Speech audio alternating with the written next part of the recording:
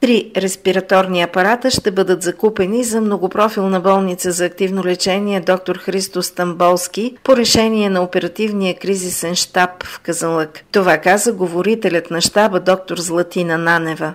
На 26 март беше подадена заявката към фирмата доставчик. Единият апарат ще бъде закупен със средства на община Казанлък, а другите два от дарителската сметка.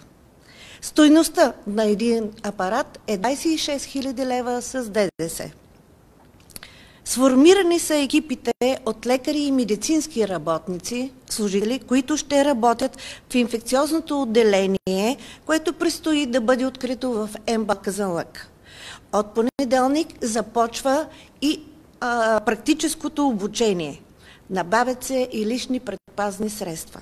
До 12 април включително се удължава валидността на мерките, взети във връзка с COVID-19 в община Казанлък, съгласно заповедта на министра на здравеопазването, каза още доктор Нанева. От вторник упълномощени лица от община Казанлък ще се свързват по график с домоуправителите в Казанлък които ще се явяват в определени часове в общината, за да получат дезинфектанти, листовка за залепване на входа с указания и ще бъдат задължени да дезинфекцират общите части входовете на блок. В момента в община Казанлък няма друг случай с позитивен на COVID-19. Подобрява се състоянието на болни от коронавирус, който беше установен в началото на седмицата.